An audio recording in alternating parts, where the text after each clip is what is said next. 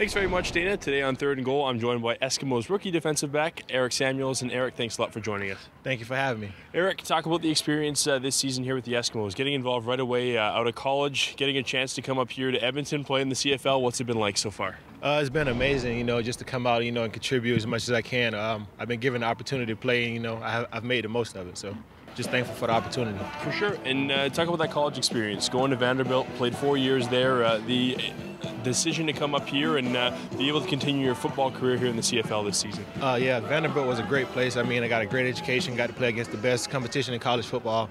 And um, I felt like coming up here would be the best fit for me as far as uh, continuing my career. So what's it, what's it, been like the adaptation from college football to the CFL and uh, getting involved here in your first season? You've uh, you, you, played a big role with this team. Well, you know, um, I thank my coaches um, for preparing me and the SEC for, for, preparing me for the CFL. So I feel like it's been it's been a change, but it hasn't been that much of a different speed wise. So I feel like I adapted pretty fast. So. How excited are you for the future? Being able to play this big of a role in this year rookie season, uh, how excited are you for, for the future? And, and who knows what's uh, what the future holds?